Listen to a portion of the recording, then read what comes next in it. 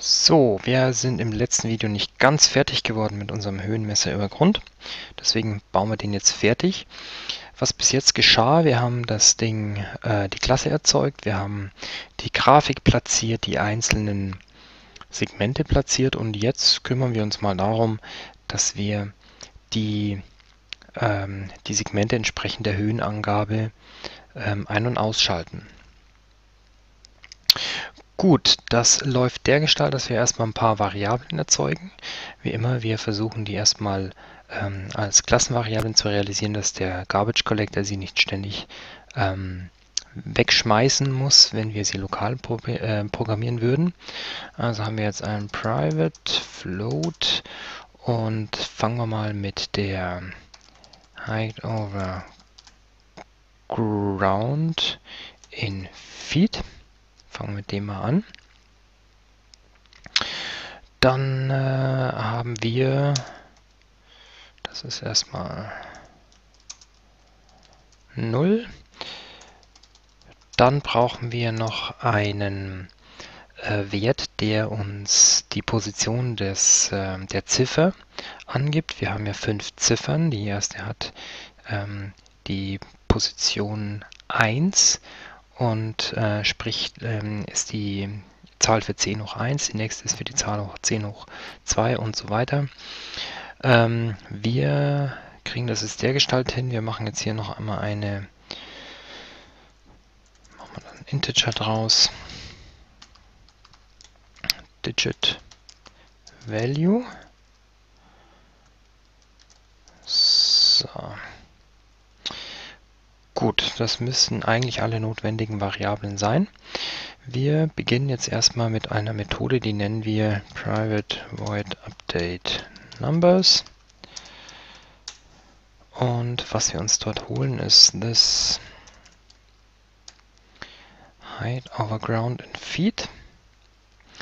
Belegen wir jetzt mit. Jetzt holen wir uns unseren Integer-Wert und zwar aus plain basic control.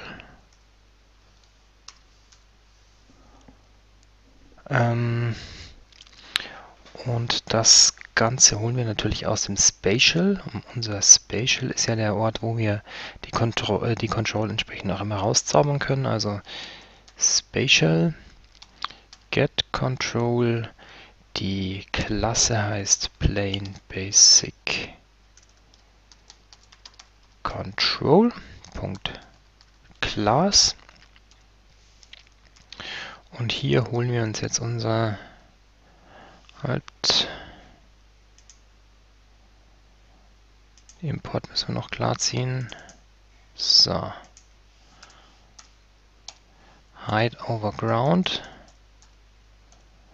Und das mal rüber, dass es ein bisschen übersichtlicher wird.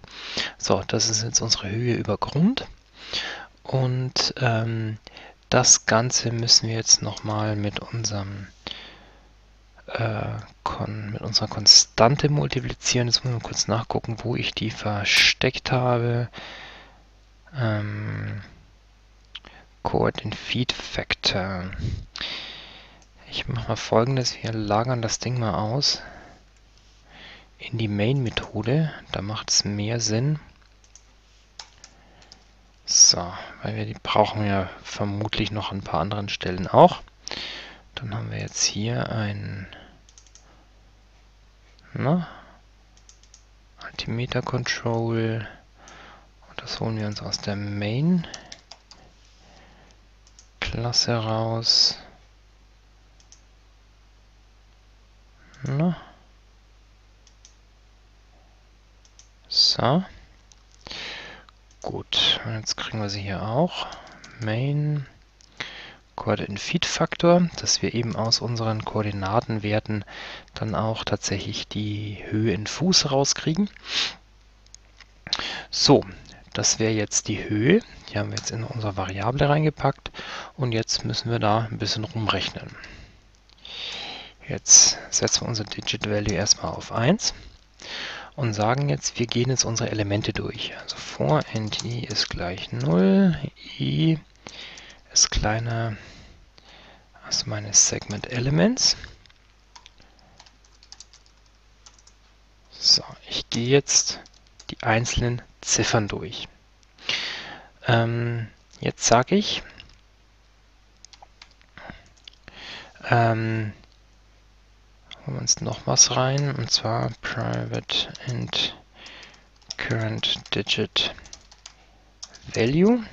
Das ist der tatsächliche Wert, der dann auf dieser Ziffer angezeigt werden soll. Den holen wir uns jetzt hier raus. Und zwar ist es nichts anderes wie unsere Höhe über Grund in Fuß geteilt durch mein Digit Value. In dem Fall geteilt durch 1. Ähm, machen wir auch ein Int draus. So, wir bewegen uns ja voll in, im Integer-Bereich. Und da muss dann hier, genau, dann noch eine Klammer drum, dass wir den kompletten Wert eben jetzt konvertieren in einen Integer-Wert. So, als nächstes wollen wir von diesem Wert nur den durch 10 teilbaren Restwert haben. Also this current digit value und jetzt mache ich hier mein Modulo 10. Modulo ist gleich 10. Das heißt, ich hole mir nur den Rest der 10er Division. Das wäre jetzt in dem Fall der ähm, die allererste Stelle. Und jetzt schauen wir noch, dass wir ähm, jetzt wir kurz nochmal nachdenken.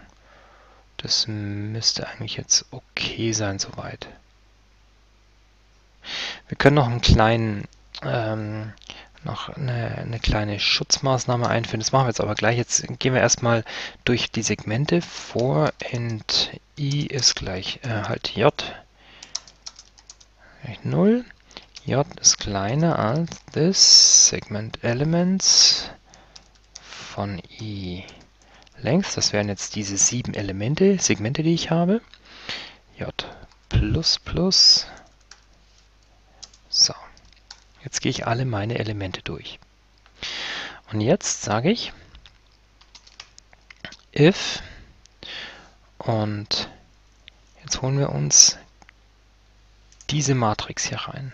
Diese Matrix hat uns ja für jede Position, also jede Ziffer, die einzelnen Segmentpositionen gegeben, ob die jetzt auf True oder auf False stehen. Das heißt, wir lesen die jetzt aus. Dieses Teil hier. Und zwar holen wir uns jetzt ähm, die ähm, this current digit value, der tatsächliche Wert, und dazu das J, das ist das aktuelle Segment, das wir uns die, durch diese Schleife hier anzeigen lassen. Also das geht ja durch die aktuellen Segmente meiner aktuellen Anzeige durch und ähm, geht jetzt auf die Fragestellung ein ähm, oder auf, auf die Frage ein, muss jetzt hier das aktuelle Segment für diesen für diesen ähm, Digit Value, also für diese anzuzeigende Ziffer, ähm, true oder false sein, also angezeigt oder nicht angezeigt. Sehen wir hier, jetzt haben wir ein potenzielles Problem, wenn dieses Digit Value ungleich oder kleiner 0 ist. Es kann sein, wenn ich beim Crash zum Beispiel unter die äh, unter das Terrain komme. Das heißt, ich muss jetzt sagen, if this current digit value ist größer oder gleich 0. Nur dann darf ich das machen. Das ist ein reiner Schutzmechanismus. So. Wenn dem jetzt so ist, also wenn dieses aktuelle Segment angezeigt werden muss, dann mache ich jetzt folgendes. Ähm, ich sage this Segment Elements von i, also die aktuelle Position, j, das Segmentelement, Punkt, set hint und hier sage ich jetzt hint always. Das schaltet das Ding aus. Else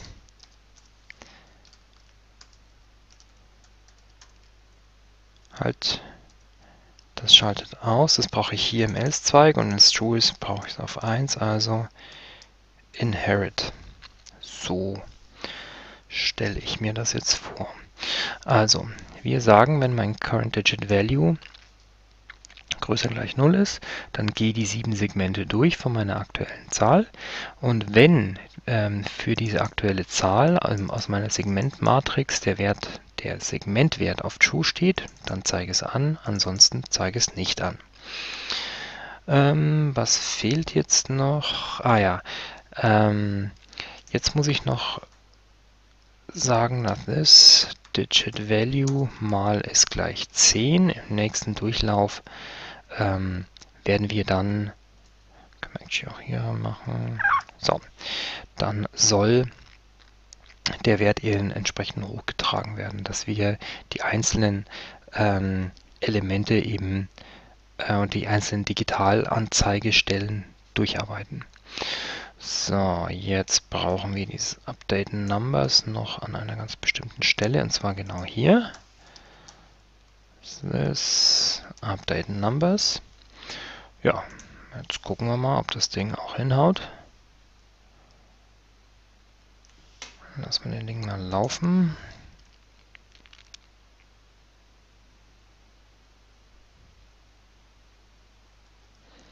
So, wie ihr seht, gibt es eine Anzeige.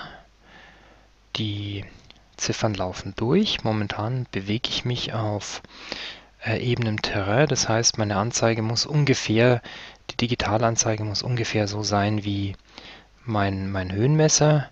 Jetzt mal ungefähr auf 700, das passt. Und jetzt fliegen wir mal in Richtung eines Berges. Und dann müsste es eigentlich so sein, dass meine Höhe über Grundanzeige kleiner wird als das, was mir der Höhenmesser anzeigt. Tatsächlich, hier geht es auf 600 runter, obwohl der Höhenmesser jetzt irgendwo bei 2000 irgendwas ist. Also, funktioniert. Soweit. Ähm, jetzt müssen wir noch ein paar Kleinigkeiten einbauen, dass wir ähm, vollständig unseren Code haben. Also als allererstes Mal bauen wir hier wieder unseren ähm, Time since last calculation Prüfung ein. This time since last update plus ist gleich tpf und dann if um, this time since last update alt ist größer Minimal Calculation Loop Time, dann machen wir den Update, so wie beim Höhenmesser auch. Gleiches Prinzip. Und was wir noch gar nicht gemacht haben, das will ich jetzt hier an der Stelle noch kurz ergänzen. Und zwar Public Control Clone for Spatial. The Spatial. Das müssen wir noch kurz machen. Ähm, der kriegt einen Override. So, und hier machen wir folgendes. Final Alt over Ground Control. Control ist gleich New Alt Ground Control. Und hier, hoppla. Äh, jetzt müssen wir das Special noch setzen. Hm, Control Set Spatial, unser Spatial, das müsste soweit jetzt hinhauen. Und zu guter Letzt haben wir noch unser Return. Control. Control sollten wir jetzt hier auch nochmal. Na? Na? GMX meldet sich, brauchen wir nicht. Ähm, Import, hier sind wir. Und die Parameter von unserem Konstruktor holen wir uns jetzt ganz einfach ganz frech hier raus. Hm, und zwar, das müssten die hier sein. Schauen wir mal. Alle anderen Parameter brauche ich nicht. So. Die passen. Instrument. Instrument. Lower Grid Pos. Was ist denn das für ein Krampf hier? Das muss man ausbessern. Wenn ich mich recht entsinne, habe ich mir das auch von dem Altimeter Control geklaut. Das ist der? Ja. Hm, hm, hm. Hier müsste es auch Instrument stehen, ja. Nicht gut. Besser. So, jetzt machen wir nämlich folgendes. Dieses, dieses Clone-Gedöns, das kriegen wir eins zu eins auch für unseren Altimeter Control. Der braucht nämlich auch einen Clone. Und dann soll er ihn kriegen. So. Und das einzige, was er jetzt noch haben will, ist, hm, dass wir hier den richtigen instanzieren. Wieso motzt der hier? Schauen wir mal. So, das müsste jetzt genauso hinhauen. Ist das ein Fehler oder was ist das? Ja, warum auch nicht. So. Gut, jetzt lassen wir das Ding nochmal schnell fliegen. Um zu gucken, dass diese Loop-Geschichte, also diese Begrenzung der Bearbeitungszeit, Bearbeitungszeit hier kein Problem macht. Nö, funktioniert noch. Er läuft sauber mit und zeigt mir auch schön die Höhe an. So, das war jetzt kein großer Akt. Wir haben jetzt einen Höhenmesser über Grund, einen Höhenmesser allgemein, also ich weiß gar nicht, wie man das nennt, absoluten Höhenmesser oder eben luftdruckbasiert und das Funst. Schauen wir mal.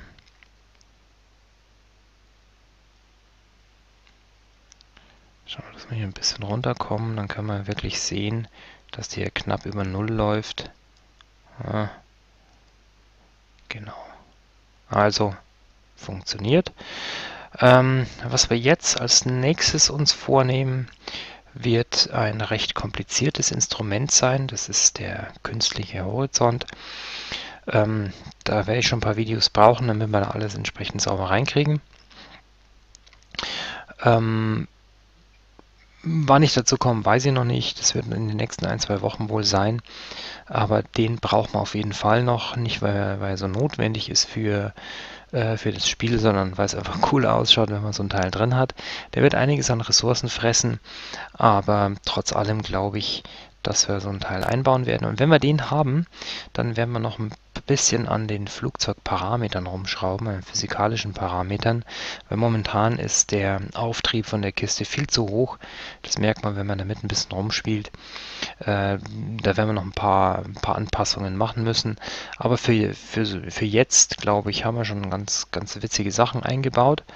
Und ja, dann hoffe ich, dass er das alles fein nachbaut und bis zum nächsten Video.